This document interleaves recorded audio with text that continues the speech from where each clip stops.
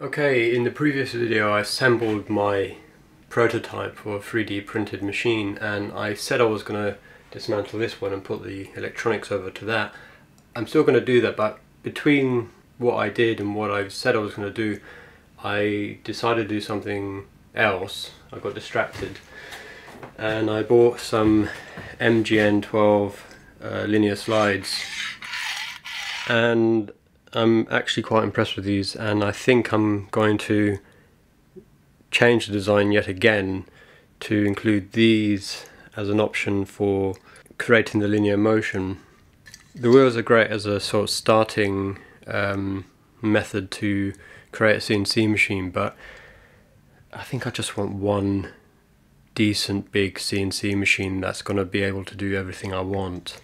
But I want to just demonstrate that that machine can work um, so I'm just going to bite the bullet and transfer the electronics over. And at the end of the video I'll try summarise the pros and cons of the methods and materials I've used up to now. There's not much going over other than the cabling for the stepper motors and the proximity sensors, however the latter will be rewired. When I wired up the previous machine I added JST connectors which acted as quick release points between the stepper motor wires and the screen cables which ran towards the controller. But I can't remember how I wired these, so I trawled through my paperwork to find some diagrams of what colour wires went to what. My stuff is all over the place, I really can't remember where things are. Okay, and on my wisdom I also bought uh, some pre-wired JST connectors, so I should be able to just plug those straight in like that um, and join these together I assembled my own JST connectors when I wired the previous machine and it was really fiddly to do, so I'd recommend getting these. Anyway, this is a rough assembly so there will be no drag chain and I'm going to use terminal blocks instead of soldering in some places. Okay, I've roughly wired everything up. I'm using these terminal blocks as an extension and I've also got these pre-assembled JST connectors which make everything a lot easier. I should also mention that just in case either my drawings were incorrect or the colours of the stepper motor wires were not the same as the previous ones, I checked the motors by holding two of the wires together and trying to move the motor shaft by hand. When I found two wires from the same motor coil it became harder to turn. I kept the pairs separate and wired up as illustrated in my notes.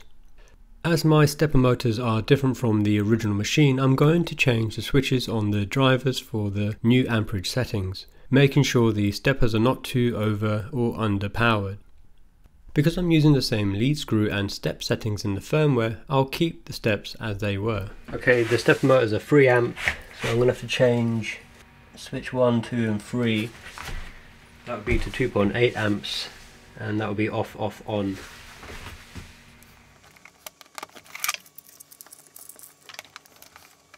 I also checked the motors were turning in the right direction before tightening the motor couplers to their lead screws. If they weren't I'd have swapped a pair of the motor wires around at the terminal block.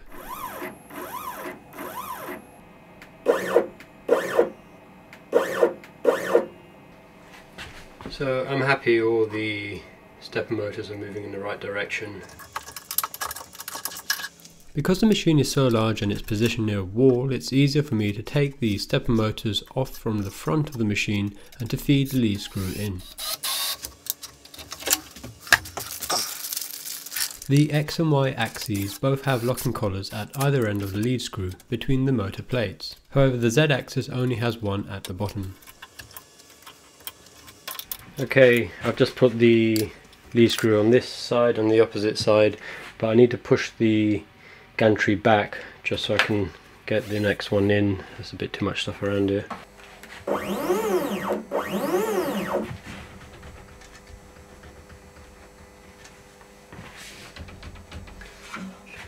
There's a tiny bit of movement and that's because the locking collars need to be really pushed in. It's a shame there isn't something that has the same thread as the TR8 lead screw that you could screw on and then tighten with a grub screw. Uh, that would make it a lot easier, but that's it's not bad. It's moving and.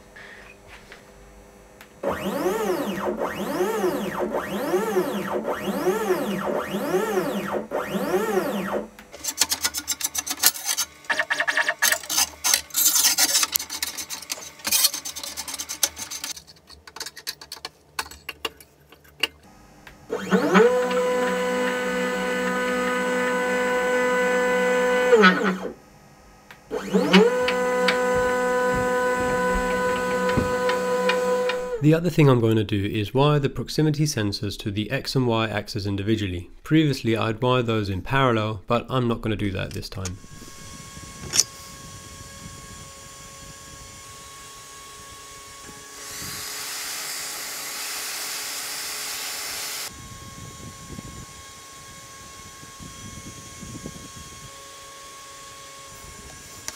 So if this was more long term I would have covered this with a bit of heat shrink as well but for now I'm just going to leave it as it is.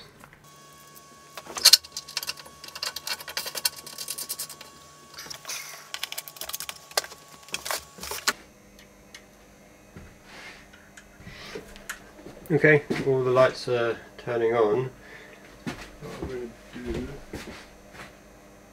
Right, I'm going to do a, a danger home. I'm going to press the home button and use this to trigger it.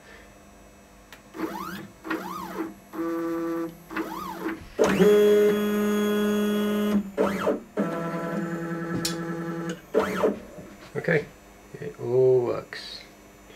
So now I can let it do a real home.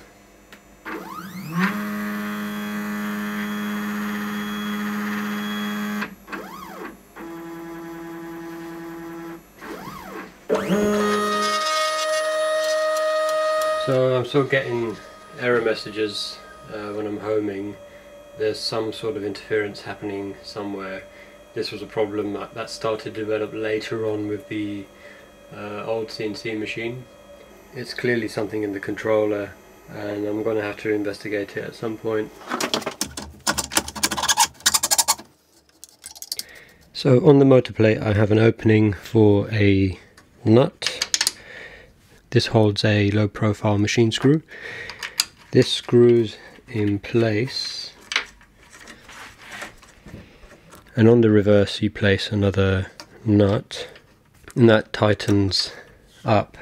And essentially what this does is acts as a hard limit which this surface here butts against. So in this case the Y plate can't go any further than that face there and I've added this type of fixing uh, on all the plates when you start using your machine and you go through the process of squaring the x and y axes, what you can do is bring the gantry forward until it rests somewhere near these stops. You can disable the power to the motors and then adjust them by hand until you've squared everything up.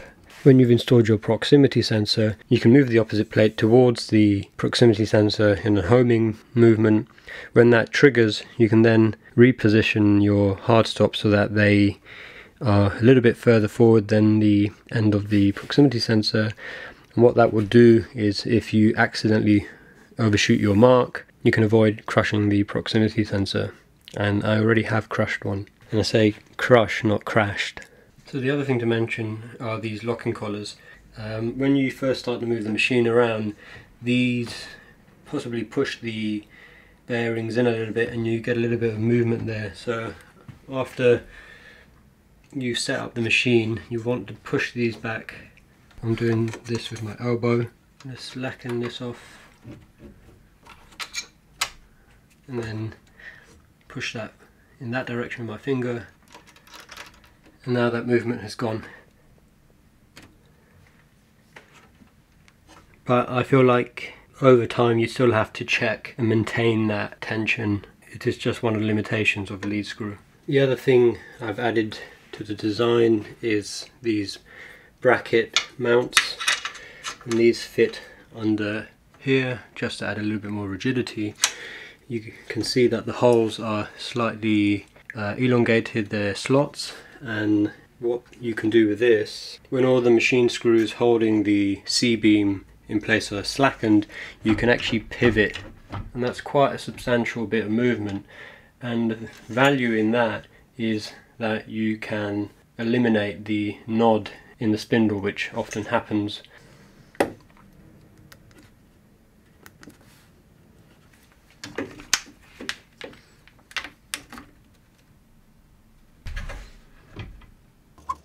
So I've made this simple jig with an offcut of C-beam and a bolt threaded through it. I'm just going to raise the bolt up until I get 90 degrees. I'm just going to go back one degree because I suspect the weight will drop it back down once I've tightened everything up. And I'll do the same on the opposite side. Okay, I'm happy with that. And this is when I'll tighten these additional brackets. I'm just going to move this across that way and just see whether the angle changes at all. That's gone to 90. It's sort of teetering at 89.9 to 90 degrees. So these two machine screws here and the ones on the opposite side uh, allow the z-axis to pivot this way around. Position there, zero it up, and then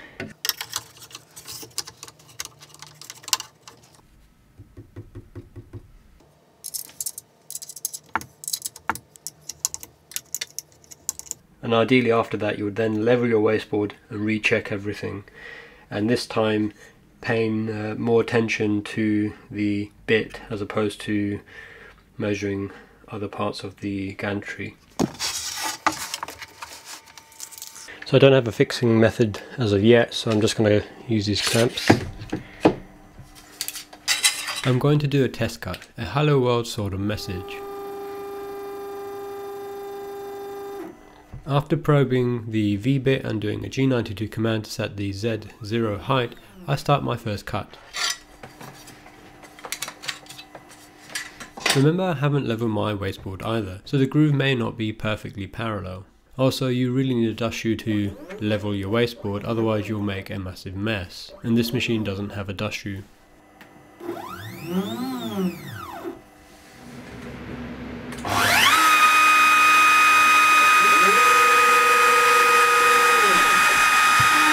So I want to just recap over some of the features that I've introduced in the design.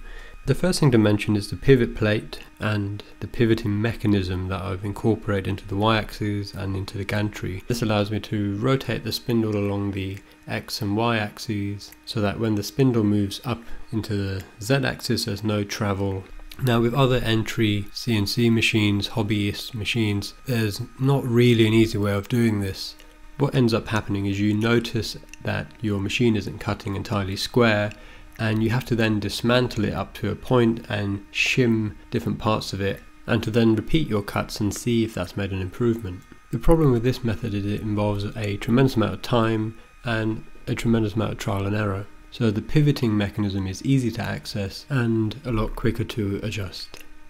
The other thing I've incorporated into the designs of the plates is hard limits. These have two purposes. The first is to prevent incoming plates crushing the proximity sensors, and the second is to help square the x and y axis. The third thing I did was add mounts for the proximity sensors. This felt like a good idea at the time, but in retrospect I could have put these elsewhere. So the proximity sensors which fitted on the motor plates facing towards the Y plates could have actually gone on the Y plates facing outwards and the sensors on the Y plates facing towards the gantry could have also gone on the rear of the gantry for example facing towards the Y plates and I think that would have actually helped reduce the amount of wiring overall. The fourth thing was to use lead screws for this machine and not belts. When I first got the X-Carve that used belts and it performed very poorly. The fifth thing was to increase the rigidity of the gantry and I did this by adding a piece of 20 by 40 millimeter aluminium profile to the bottom of the Y plates and that helped square the C-beam to the Y plates. The sixth thing that I wanted to incorporate into the design was I wanted to minimize the amount of wheels that I used without affecting the performance of the machine the cost of this really mounts up and I wanted this machine to be quite affordable. And the last thing was I wanted the plates to be produced in different ways. So I've built variations of this machine using birch ply, using a C-tool and now using a 3D printer. And designing nut traps into the plates has meant that you can use these materials and you can avoid using other materials like aluminium or steel which are harder to machine.